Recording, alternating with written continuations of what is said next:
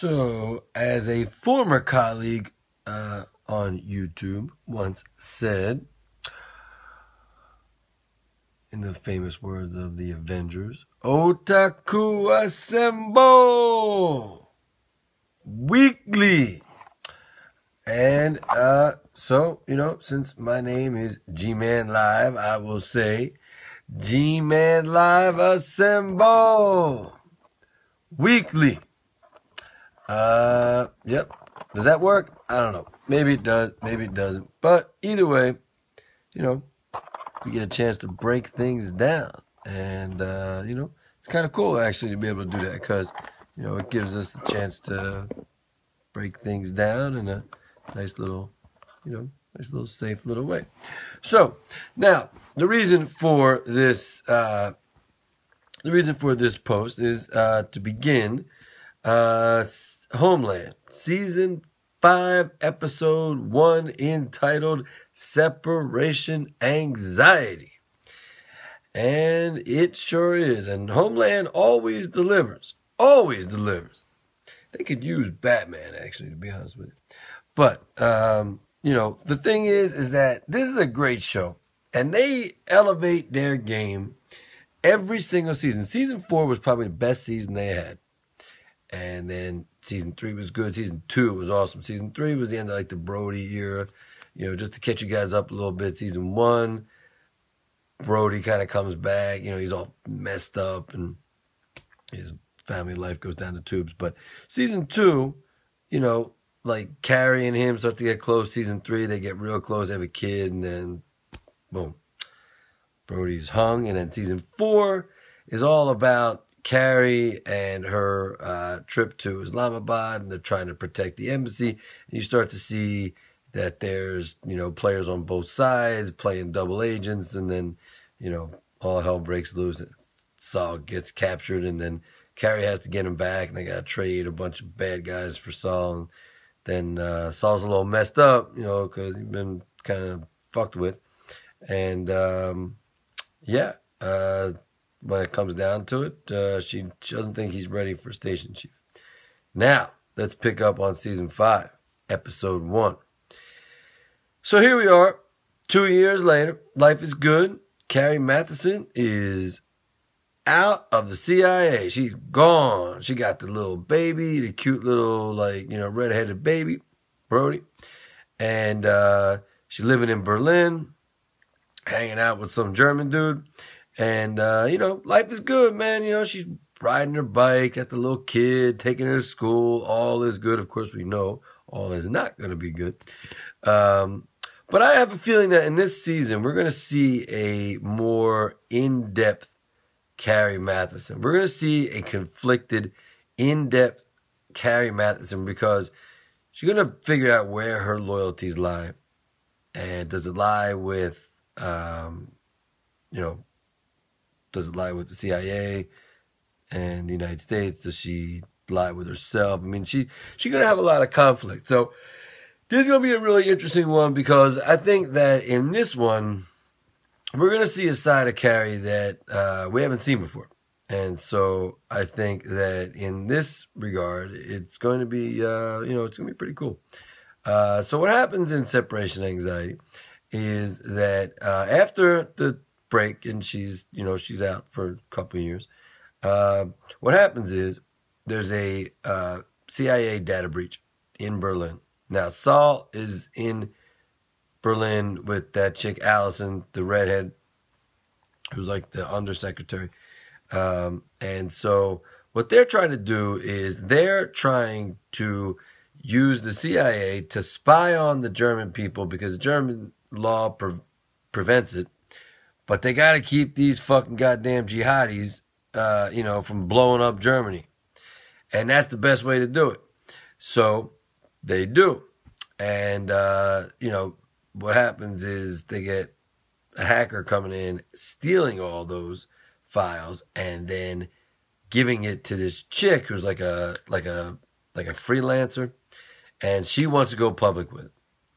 Now, Carrie works as a as a uh, security um, head for this billionaire German who you know, it's interesting. Like the the they really show. There's some really interesting scenes that stand out in this that are really intense.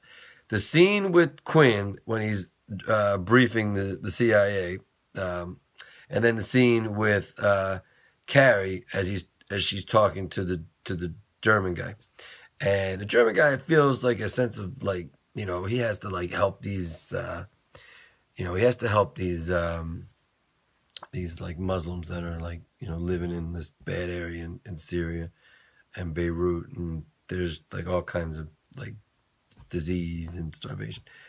Oddly enough, this is interesting because historically, I mean, it kind of does tie back to like, you know, they're feeling grief over uh, what happened in the Holocaust and the killing of six million Jews. Now, interesting enough, I did read a paper just came out just before Homeland came out, talking about how Europe kind of died with the Holocaust. You took a culture of life and you killed it.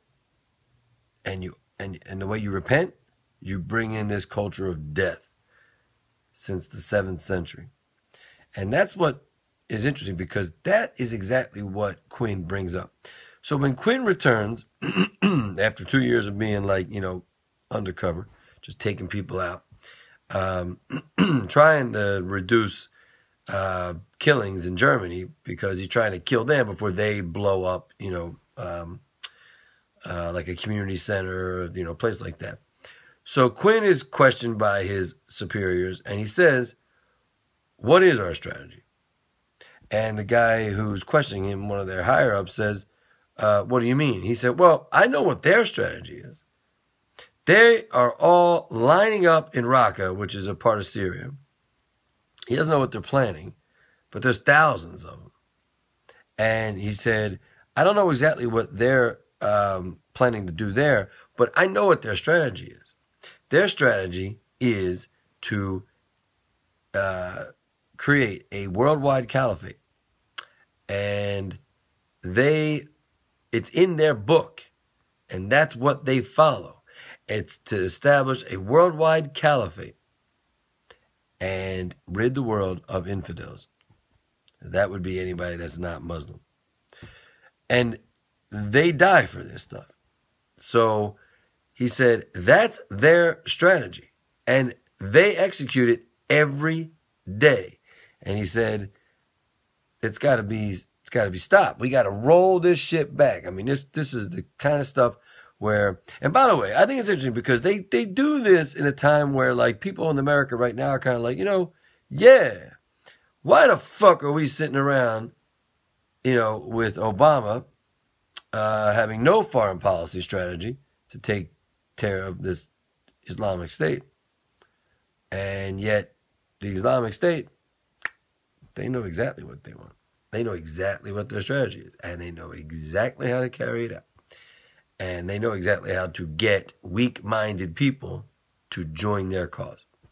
So that's a really powerful scene to open up season five, episode one separation anxiety. now, the interesting thing is, is that the station chief says to him, Well, what would you want? What do you want me to do? He says, Put 200,000 troops down there, wipe them out. Uh, guy says, No. He said, Okay, fine then make Raqqa a parking lot and obliterate it. Guy says no too. So then he says, good. Then send me back to keep doing what I'm doing, which they do. And obviously, Peter Quinn is not happy with that.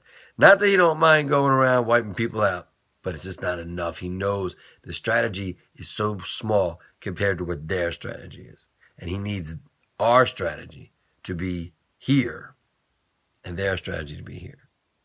But instead, it's the opposite. Now, Carrie, on the other hand, working for this uh, German guy, she is, uh, you know, talking to him, and he wants to repent and help out. He feels like he's got a little karma to kind of, you know, make up for, obviously, for the killing of the six million Jews, which is implied. It doesn't really get talked about. Um, but I advise anybody actually go check out. Uh, I think it's in the Wall Street Journal. Great article. Um, and I think that plays off this. Like Homeland does such a great job of that. That's why you get all these bullshit other shows like Quantico and Blacklist and all that other crap. That's all crap. Homeland where it's at. Same with uh, the actors, Carrie Mathison, Peter Quinn, all those guys. They are Saul Berenson. Uh, you killed my father, prepare to die. That dude, uh, that they are good, real good. So, you know, uh, what happens is he wants to go over there and give like $10 billion so that they don't starve the people in like Lebanon and Syria. Now, she says, look, you go over there and do that, you're a sitting duck. So she tries to get in touch with Hezbollah and say, hey, look, I need safe passage with her old contacts in the CIA. So she, uh, you know, attempts to do that. She gets taken prisoner. She does make a deal with Hezbollah and she gets safe passage. Prior to that, uh, this really annoying chick uh, who's really fucking annoying, and these are the kind of people that are dangerous, actually. She has the CIA files. She wants to go public with them. Her lawyer is Carrie's new boyfriend. And she wants to go public regardless of what the consequences are. Carrie tells her, You can get people killed for this. You might not want to do this. But because she's putting herself over the interests of her country, which, by the way, is a big theme in this country, you got guys like Obama and his boys don't give a shit about the country, only care about the party. That's bad. And I think that that's what Homeland's trying to do here. They're trying to say, this is actually what you got going on right now. Because let's face it, first four seasons, they didn't talk about anything in particular. Now they're actually particular talking about Hezbollah, talking about Islamic State. They're talking about refugees, talking about migrants. That shit's going on right now. So it's interesting that they are bringing that stuff in. They're talking about strategies. They're talking about having none. Obama, he got homeboy got no strategy. So I think that this is a they're setting this up to just be a killer, killer season. Um, so what happens is Carrie gets taken hostage, told that she's given safe passage, but the guy doesn't like her too much because apparently in previous, uh, you know, little battles, he she took out the dude's son. Store that in the back of your mind because it looks like Homeboy wants some revenge. I don't think he's giving her safe passage just because he can. I think he's giving her safe passage because he wants to whoosh, take her out. Because he says, I'm going to come after you. So uh, it ends with her being dumped off uh, on the streets while the boyfriend's on the phone with the annoying chick. Uh, I don't know what her name is, but she's fucking annoying. And I hope something happens to her and she realizes, you know, there's like a good side and a bad side, and you're on the bad side. So, uh, so that's that's basically you know season one or uh, season um, five, episode one. It's a really really good episode, and uh, kind of shows you, you know, what Homeland is doing. Uh, for season five, they're setting you up with this. You know, you see some moments where she's sitting in a church and kind of, you know, like contemplating and atoning. And even Saul says, like, what are you atoning for? You know, for keeping the country safe. Nothing to be nothing to be ashamed of. Um, so yeah, it's a great show. Um, probably the best show of the fall. I'll be reviewing um, uh, the next one, uh, which is a tradition of hospitality, episode two, and um, I'll also be doing the affair, and I got to play catch up on that, and then the leftovers got to play catch up on that too. So uh, in any event, anybody questions on this? Any uh, homeland lovers out there? This is your place you want to go. I give the best ones. What the flick is what the fuck? It sucks. It's that really annoying dude with the black hair, and then the other fat dude, and he sucks, and then that young Turk dude, and that motherfucker's biased. So, all that shit. They suck. Don't watch those motherfuckers. They're not giving it to you straight, all right? They're sitting there trying to break this shit down as if it's like some philosophical, like, you know, deep shit. It ain't, all right? we can break it down, but let's let's be real. I mean, it's a TV show, so we can break it down to some cool things, but like these guys make it as if it's like some sort of like congressional hearing. Come on, get real. Damn. Anyway, um, So look for me uh, to break it down for the next uh, episode, uh, episode two, and uh, I'll be uh, doing that as well as the affair, as well as the leftovers, and my movie reviews, as well as my sports reviews. So that is the end of this review. Any questions? Anything you want to know? Comments below.